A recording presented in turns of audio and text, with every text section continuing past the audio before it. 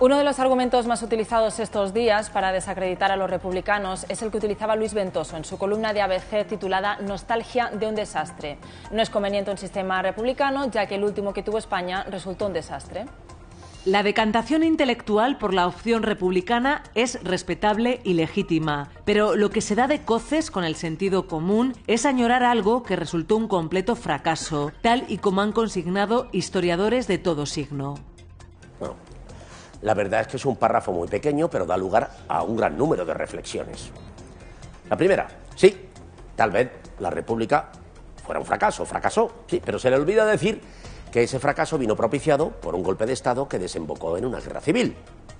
La segunda, que la Segunda República hubiera sido un fracaso no invalida a la República en general como sistema de gobierno. Por esa regla de tres, la monarquía también quedaría invalidada dado los antecedentes.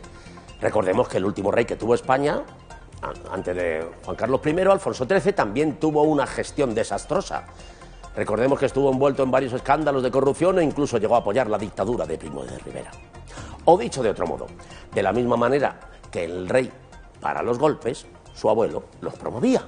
Sin embargo, el hecho de que el reinado del abuelo del actual monarca fuese un fracaso no significa que el de su nieto lo haya sido. Don Juan Carlos no tiene por qué hacerse cargo de los errores de su abuelo.